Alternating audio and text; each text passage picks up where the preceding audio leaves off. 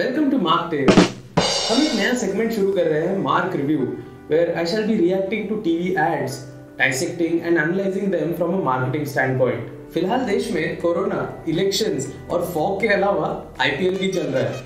IPL is a maker for advertisers because of its huge viewership every year last year he IPL ने एक 10 second के add slot के लिए साढ़े बारह लाख रुपए चार्ज किए थे।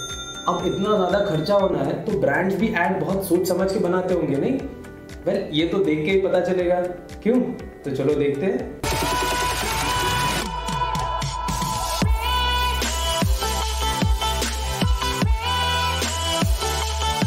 इस वीडियो के लिए सबसे पहली एड है the most viral ad of 2021 featuring the Indira Nagar का गुंडा A K A Rahul Dravid yes it is that of Cred सबसे पहले तो इस ब्रांड को और इसकी टारगेट ऑडियंस को डिफाइन कर लेते हैं। Cred is a credit card bill payment app which gives reward point to its users when they pay credit card bills Now the users can redeem these points on the app itself by buying things or experiences.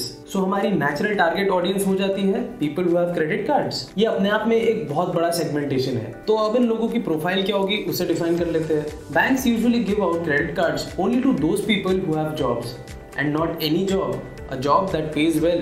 HDFC, for example, gives a credit card to a person only if their monthly income is above 12,000 or a businessman if their monthly revenue is above 2 lakhs. This filters out a huge chunk of individuals. The rest majorly stay in big cities, are well educated, and have a decent lifestyle at the least. So we can define their demographic as medium to high income group, age anywhere about 25 years up to 58 years, and staying in metro or tier 1 cities. अब जब हमने target audience को define कर लिया है तो अब ad देख लेते हैं When you pay your credit card bills on Cred, you earn Cred coins. Use them to claim cashback and rewards. I know this sounds ridiculous. It's like saying Rahul Dravid has anger issues. Hey! That doesn't mean you can overtake. Come, man. Come. You come, man. What about Brittany? Hey! Could have gone straight and taken Indira Nagar का गुंडा हूँ मैं। Oh my God Dravid का पूरा इस्तेमाल कैसे करना है वो कोई इनसे सीखे। पूरा सोशल मीडिया पागल हो गया है इसके पीछे। सब लोग बस द्रविड़ का गुस्सा होने की और इंदिरा नगर का गुंडा होने की बातें कर रहे हैं। And not just people even brands are using this moment to promote their own brands. Taking indira nagar ka gunda as a reference. मगर कितनों को ये एड क्रेड का था? ये याद रहा? मुझे याद न मेरी किसी से अब क्या कहना? सो इस एड का एनालिसिस करने के लिए हम लोग पाँच चीज़ें इवेल्युएट करेंगे. Target audience alignment cast of the commercial structure of the ad attention grabbing potential और ब्रांड रिकॉल सबसे पहले तो हम ये एड देख रहे हैं आईपीएल में. स्पोर्टिंग इवेंट जिसके करोड़ों व्यूअर्स है. तो रीच तो बहुत अच्छी है नो डाउट अबाउट इट मगर क्या क्रेड को इस रीच की ज़रूरत है हमने पहले ही देखा कि क्रेड का टारगेट सेगमेंट क्या है आईपीएल की व्यूअरशिप एक वेरिड जियोग्राफिक और डेमोग्राफिक पूल से आती है तो इसमें क्रेड की टारगेट ऑडियंस तो है मगर साथ में ही काफ़ी अनवांटेड और नॉन टारगेट ग्रुप्स भी है सो आईपीएल के कॉस्टली स्लॉट्स में ऐड लेके the money might not be that worth. This is like if you don't remember which flavor of ice cream your spouse likes, so you purchase all the flavors. You now have the required flavor, yes, but in the process you also have lot of unwanted ones and a lighter wallet. So इस ad को हम लोग दो parts में divide कर सकते हैं The first one with Jim and second one with Dravid. Part 1 में Jim talks about a feature of Cred and the benefit that you'll get if you use the app. The sound argument When you pay your credit card bills on Cred, you earn Cred coins. Use them to claim cashback and rewards. I know this sounds ridiculous. It's like saying Rahul Dravid has anger issues. Use of the word cred has been done twice, but without much emphasis. No background music or big backdrops with the name cred. So they want to keep it subtle. When you pay your credit card bills on Cred, you earn Cred coins. The language is English. Oh, ये काफी लोगों को cut down कर रहे हैं I mean even though इनका target segment 12000 की salary लेने वाला है बट इसका मतलब ये तो नहीं कि सबको इंग्लिश आएगी आएगी। तो कुछ पोटेंशियल कस्टमर्स तक ये मैसेज शायद जा ही नहीं रहा है। आईपीएल की एक व्यूअरशिप रिपोर्ट के according only 22% of the viewers watch the matches in English यानी बच्चे 78% are watching the matches in either Hindi और local vernacular this is cutting down their reach vastly Cast of Jim Sarp in a classy setup like this with polished communication looks perfect. Cred is a premium app. अगर आप इस app पे जाओगे तो आपको पता चल जाएगा कि ये ऐप किसी एरे गहरे, नत्थु गहरे के लिए नहीं है। भाई, इस पे पाँच पाँच सौ रुपए में इतनी तुझी कॉफ़ी मिलती है।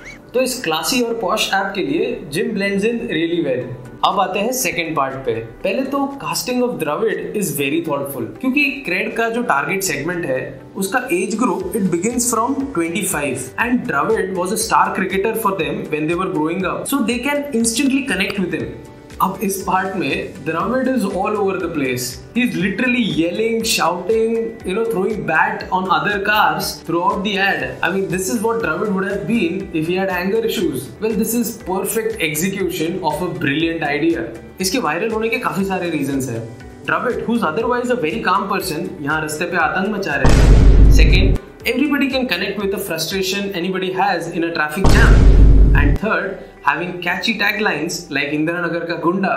Man, even if Virat Kohli would have starred in this ad, still it would have made headlines.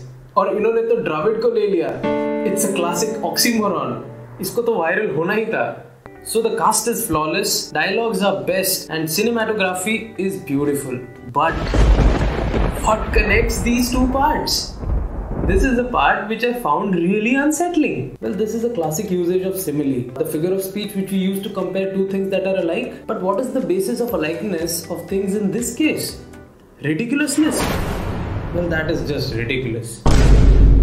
Basically, Jim is stating a feature of cred which he thinks is ridiculous and that he's comparing with another ridiculous thing. And what is that? Dravid's anger issues? कोई sense है इस बात की हमें बहुत लग रही थी उस टाइम ऐसे तो कुछ भी बोल सकते हैं यार। I can say as ridiculous as Ambani using the local train और RCB winning the IPL the list would go on problem ये है कि in the 23 second ad Jim is talking about Cred for only 4 seconds, while the rest 19 is all about Dravid and the ridiculous connection, which has absolutely no mention of cred वैसे link जो है वो काफ़ी week है। This could have been a strong proposition if the second part had something to do with cred and it completed the loop. We all saw the cred ads last year in the IPL. The actors who were auditioning for cred in the advertisement had some or the other mention of cred in their act. Like when Bappida sang this, Download trade, baby. Download trade. well, it stuck in my head. And it was also a call to action asking me to download cred. Which is why, for me, this ad would rank fairly low in terms of brand recall but really high in terms of attention grabbing potential. So, to summarize, while the cinematography, dialogues, and mood setting is really good, the ad lacks a decent structure and also the product emphasis is a little low. Target audience alignment, not so much. In a world of precision marketing, they are doing the exact opposite of it non precision marketing. The cast is superb and the attention grabbing potential of the ad is very very high. But the problem is that due to low product emphasis, chances are that people might remember this as just the video where Dravid went crazy. Meaning that the brand recall is very low. For the people who are hearing about Cred for the first time, it will continue to be a mystery product. I hope you like the analysis of this ad. If you did, do press the like button below and show your appreciation. I would really appreciate it. If you want me to analyze more ads, do share them in the comment section below and I will try to make a video for it. Also, if you have not yet subscribed to the channel, please do so because much more exciting content is coming your way. Thank you so much.